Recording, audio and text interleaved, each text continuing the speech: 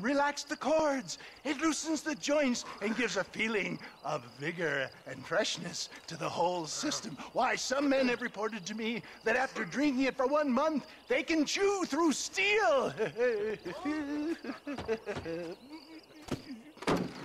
What the hell? It's a trap! Get them, John!